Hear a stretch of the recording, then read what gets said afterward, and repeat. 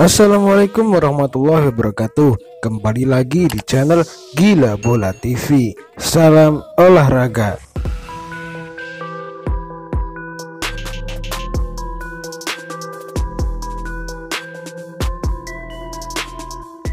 General Manager Arema FC, Rudi Widodo angkat bicara soal kontrak pemain jika nantinya kompetisi Shopee Liga 1 musim 2020.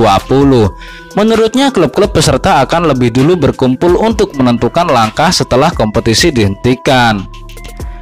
Sebelum mengambil langkah berikutnya, termasuk membahas soal kontrak 18 klub peserta Liga 1 musim 2020 ini harus bertemu lebih dulu, ucap Rudi. Kami harus sepakat soal apa konsep kompetisi mendatang, sambungnya.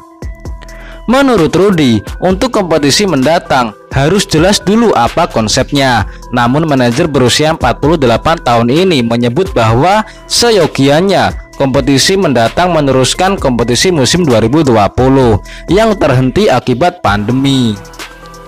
Meski nanti berakhir pada April 2021, sepertinya lebih cenderung meneruskan kompetisi ini, ungkap Rudi.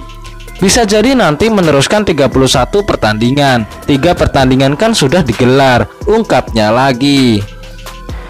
Sebelumnya PSSI memastikan bahwa bulan Maret, April, Mei, dan Juni merupakan status keadaan tertentu darurat bencana. Hal ini tak lepas dari merebahnya persebaran virus di Indonesia. Dengan keputusan tersebut, PSSI menunda jadwal lanjutan kompetisi sampai 29 Mei 2020. Jika status darurat bencana tidak diperpanjang pemerintah, kompetisi akan dihelat mulai 1 Juli 2020. Namun, jika pemerintah memperpanjang status darurat bencana atau PSSI menganggap kondisi belum ideal, maka musim kompetisi ini akan dihentikan. Rudi menyebut bahwa menggelar kompetisi musim 2021 jauh lebih bagus ketimbang menggelar turnamen jika kompetisi musim 2020 dihentikan. Menurutnya, jika menggelar turnamen sebagai pengganti kompetisi 2020, akan ada banyak keruwetan yang harus dihadapi. Kalau memutus kontrak, lalu menggelar turnamen akan ribet, kata Rudi. Sulit juga nanti mengatur transfer Windows untuk kompetisi mendatang, ungkapnya lagi.